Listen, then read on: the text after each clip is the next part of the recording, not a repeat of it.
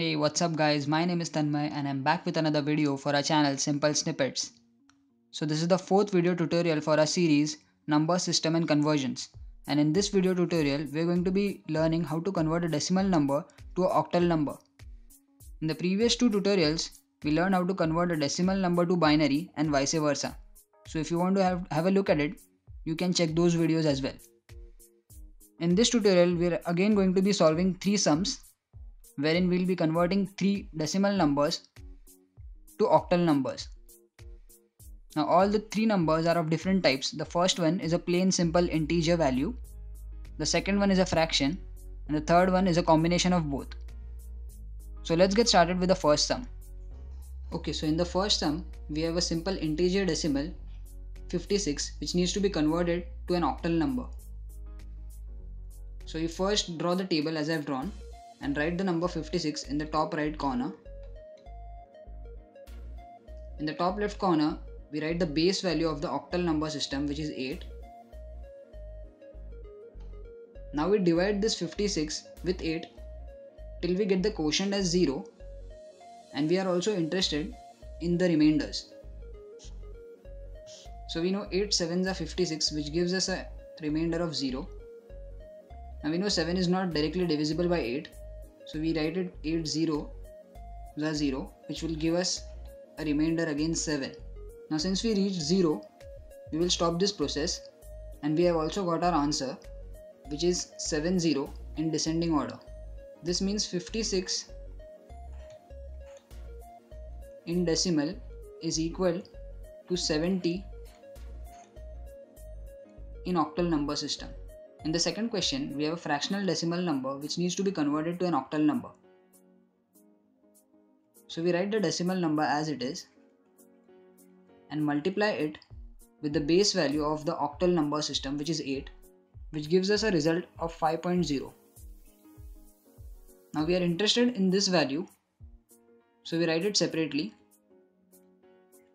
and ignore this value for the next iteration. So once we ignore this we have 0.0 for the next iteration. Now we know 0.0 into 8 will again give us the value 0. So this will infinitely go on so we have to stop over here and and we have also got our answer 0.625 in decimal is equal to 0.5 in octal. Now let's move on to the next question which is the combination of the first and second question. So we divide this sum into two parts, part A and part B. In part A, we'll be converting the integer part 15 to octal number system and in part B, we'll take care of the fractional number.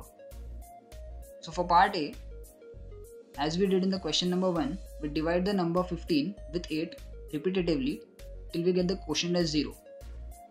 So you know 8 ones are 8 which will give us a remainder of 7 we know 8 zeros are 0 which will again give us the remainder of 1 now since we reached 0 we stop this process and we have got our answer which is in descending order. So 15 in decimal is equal to 17 in octal. Now for the part B we have 0.25 which we multiply with the base value of octal number system that is 8 and we get the answer as 2.00. Now we are interested in the integer part so we write it separately and truncate this or ignore this for the next iteration. So for the next iteration we have 0.0 which when multiplied with 8 will again give us the value 0. So we need to stop over here as we've already got our answer which is 2. So 0.25 in decimal is equal to 0.2 in octal. So now that we've got the answer of part A and part B, we need to club these answers to get the final answer. That is 15.25 in decimal is equal to 17.2 in octal. So that's it for this video guys. In the next video, we'll learn how to convert an octal number to a decimal number by solving 3 numericals just as we did in this video. If you like this video, give it a thumbs up and share it with your friends and make sure you subscribe to our channel so that you get notified when we upload these videos. Peace!